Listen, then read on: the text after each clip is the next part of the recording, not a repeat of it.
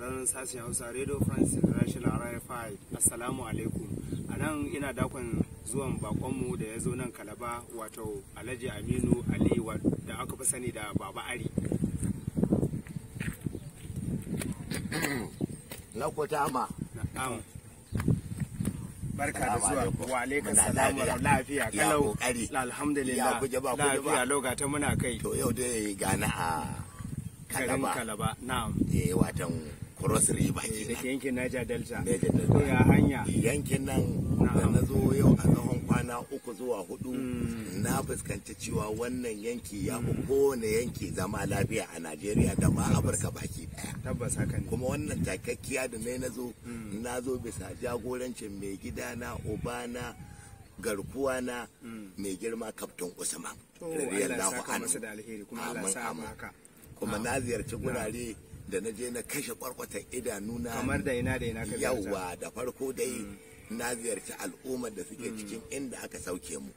Na biyu kuma mun je teku. Na shiga teku na yi juyi a teku na yi rawar gada ka ce kayi juyi kamar kifi? Eh, na hau jirgi na ruwa ba wai komi ba ba kuma kwale-kwale ba.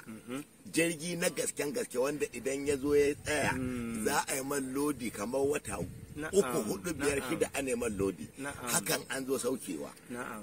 Masha to Allah. akwai nasarawa na ma wani gari ne na yan arewan mu ban sani ba ka ziyarci yan ko kana da niyyar yin haka? Ina da niyyar zuwa nasara kamar yadda na je gobir eh, gobira Gwar Hausawa, ba gobiri. Na ga al'umma na je salauta na je yan manja na je yan tumatir na je yan kayan sawa.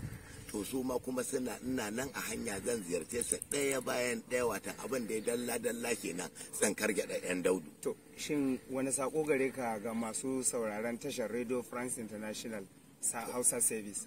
To ina kira ga masu sauraron wannan gidan rediyo su ci gaba da saurarensa ba don kuma ba saboda kawo ingantattun labarai ingantattun labarai kuma labarai na gaskiya sannan suna da ɓangaren nishadantarwa irin ɓangaren mu kenan da za mu nishadantar da al'umma kowa ya ji daɗi. Wanda hajiya hawa kabir ke jagoranta wanda hajiya hawa kabir take jagoranta maman mu maganin kukan mu kenan. Masha Allah. To na gode ƙwarai a huta lafiya Allah ya na sauke gode. ka lafiya masha Allah. madalla madalla madalla madalla.